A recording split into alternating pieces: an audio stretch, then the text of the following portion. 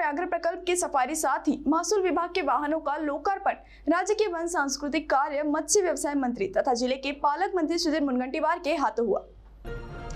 अंतर्राष्ट्रीय स्तर के पर्यटन नक्शे में ताड़ोबा, अंधारी व्याघ्र प्रकल्प का समावेश है। यह ज़िले के लिए अभिमान की बात है। पर्यावरण साथ ही वनों का महत्व समझने के लिए ताड़ोबा पर्यटन महत्वपूर्ण पहलू बन गया है। और यह एक चलता फिरता विश्वविद्यालय है। ऐसे विचार राज्य के वन तथा ज़िले के पालक मंत्री सुधीर मुनगंटीवार ने व्यक्त किए। ताड़ोबा व्याघ्र प्रकल्प के सफारी के लिए पर्यटन वाहनों का लोकार्पण करते समय वे बोल रहे थे।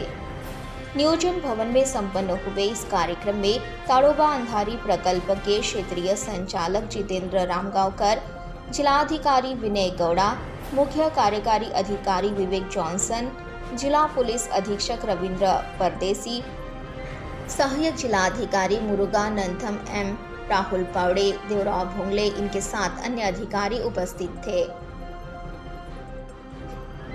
पिछले वर्ष देश विदेश के करीब तीन लाखों से अधिक पर्यटक ताड़ोबा व्याघ्र प्रकल्प देखने के लिए आए थे। ऐसा बताते हुए वन मंत्री मुनगंटीवार ने कहा ताड़ोबा प्रकल्प की सुविधा उत्तम होने की दृष्टि से कुछ महत्वपूर्ण निर्णय लिए गए हैं। सिंगापुर के आर्किटेक्चर को डिज़ाइन बनाने का काम दिया गया है। देश का ही नहीं तो विश्व का सबसे सुंदर टाइगर सफारी ताड़ोबा रहेगा। इसके लिए हम प्रयासरत हैं।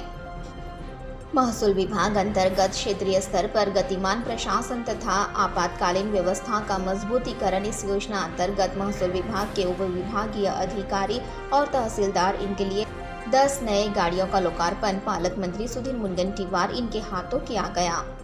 त्याच्या परिचयासाठी ज्या काही महत्त्वपूर्ण बाबी आहेत त्यापैकी एक महत्त्वाची बाब म्हणजे ताडोबा पर्यटन.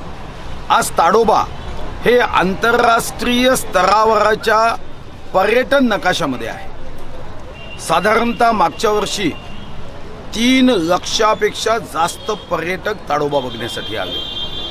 ताडोब्याच्या सोयीसुविधा या उत्तम व्हाव्यात या दृष्टीने काही निर्णय आम्ही केले. ज्यामध्ये आता एक अतिभव्य ताडोबा सफारीचा निर्णय केला ज्यासाठी सिंगापूरच्या आर्किटेक्टला याचं डिझाईन बनवण्याचं काम दिलं आहे. आणि मला विश्वास आहे की देशातली नव्हे जगातली सर्वात सुंदर सफारी ही ताडोब्याच्या सोबत या ठिकाणी ही टायगर सफारी करण्याचं काम सुरू झालं. इथं अतिशय महत्त्वपूर्ण व्यक्तीही येतात. आणि म्हणून आम्ही दुसरा निर्णय केला की आता गाड्या टप्प्याटप्प्याने बदलल्या पाहिजे. आणि या टप्प्याटप्प्याने गाड्या बदलण्यामध्ये पहिला टप्पा आज सहा गाड्यांचं लोकार्पण हे आज करण्यात आलं. ताडोबा हे गरिबातल्या गरीब विद्यार्थ्यांनाही या ठिकाणी एक पर्यावरणाचं आणि वनाचं महत्त्व समजण्याच्या दृष्टीने हे चालतं बोलतं विद्यापीठ आहे.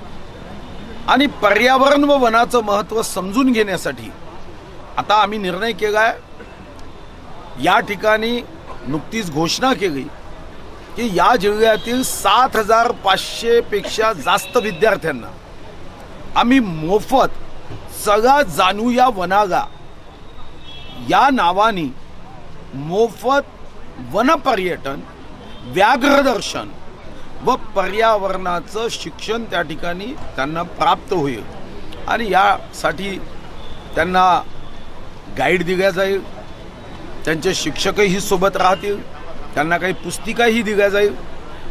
त्यासाठी त्यांना आवश्यक ती सर्व माहिती उपलब्ध केल्या जाईल.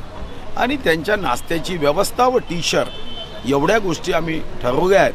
आणि त्या दृष्टीने सात हजार पाचशेपेक्षा जास्त विद्यार्थी कारण चंद्रपूर जिल्ह्यामध्ये ते विद्यार्थी राहतात आणि ते स्वतःच ताडोबा बघू शकत नाही. आणि म्हणून हा निर्णय केला. अशाच पद्धतीने राज्यामध्ये सुद्धा आपण पंच्याहत्तर हजार विद्यार्थ्यांचं नियोजन करतो आहे की विविध अभयारण्य असतील विविध व्याघ्र प्रकल्प असतील या ठिकाणी विद्यार्थ्यांना मोफत सहल वाढेल